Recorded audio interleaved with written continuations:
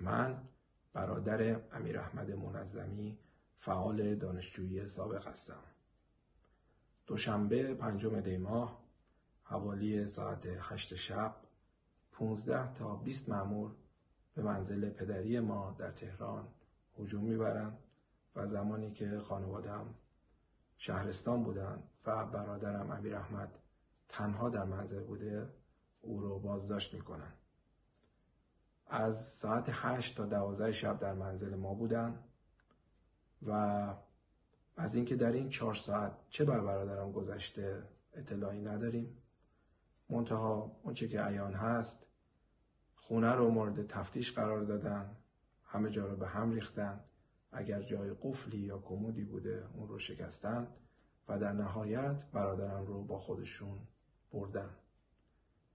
هیچ اطلاعی از امیر احمد نداریم به جز یک تماس کوتاه که فقط ابراز کرده که سالم هستم.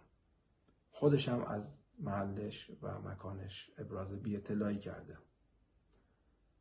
بسیار بسیار از وضعیت برادرم نگران هستیم.